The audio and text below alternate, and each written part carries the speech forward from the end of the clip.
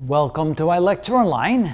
In the previous video, we found the voltage across each of the three devices in an AC series circuit. The voltage across the resistor, across the capacitor, and across the inductor. And knowing that the voltage source has a magnitude of 50 volts, if we add these three voltages together, we get something much bigger than 50 volts, so something doesn't seem to add up correctly. But then we have to realize that, wait a minute, these maximum voltages occur at different phases. They have different phase angles. So what we're going to do is we're going to find the voltage of each of the three devices in terms of the real and imaginary portions. So in that case, we can say that V sub r can also be written as follows.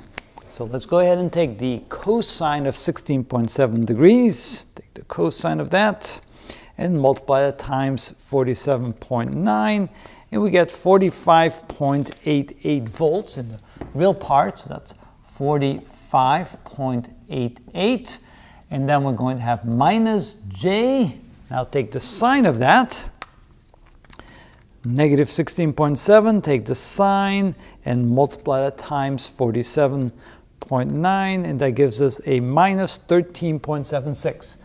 13.76. So notice there's a real and an imaginary part. If we take the voltage across the capacitor, we can do the same thing. So we have uh, minus 106.7 degrees. Now to get a good feel for that, let's go ahead and draw the phase, the phasors of the three voltages here. So let's draw the axes. There's the imaginary axis. There's the real axis. And the voltage across the resistor will have a phase angle of minus 16.7 degrees and it'll be magnitude of 47.9. So that will look something like this. So there we have the voltage across the resistor with a phase angle of negative 16.7 degrees. Negative 16.7 degrees. There we go. Now the voltage across the capacitor has a phase angle of minus 106.7. It's only 4.79, so that has a right angle to this. So it looks like this. And that would be the voltage across capacitor. And there you can see that the phase angle would be a minus 106.7 degrees.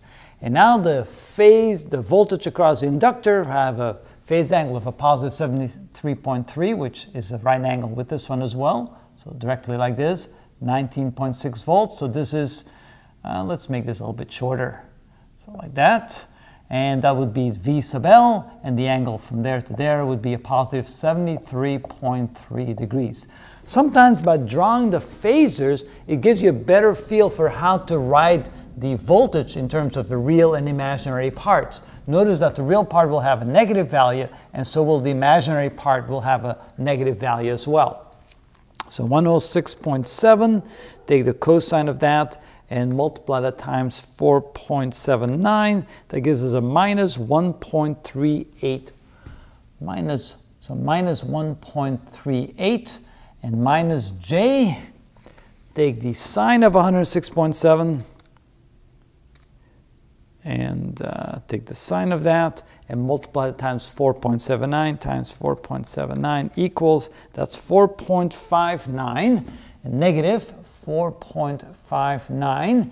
And then finally, the voltage across the inductor is going to be equal to 73.3. Take the cosine of that and multiply it times 19.16. That gives us 5.51. 5.5, uh, let's write it, 5.50, close enough. And that will be plus J 73.3, take the sine of that and multiply times 19.16, and that will be 18.35, and that's positive, 18.35. All right, now let's go ahead and add the three voltages together. So once you have it in this format, the total voltage, that's the same as the source voltage, will be equal to, when we add this together, let's see here, hmm, uh, 45.88 minus 1.38 plus 5.5, we get 50 volts in the real part, and plus J, when we add that together, we get a minus 13.76. And we get zero in the imaginary part. So notice that the total voltage across all three components, when you add them up, by you only adding the real parts and the imaginary parts together like that, you get the exact same voltage as the source, which is 50 volts with a zero phase angle.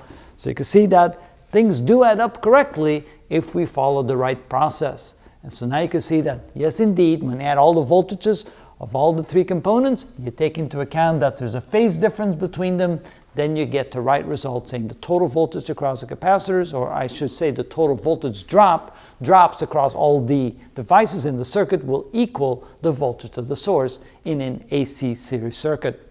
And that's how it's done.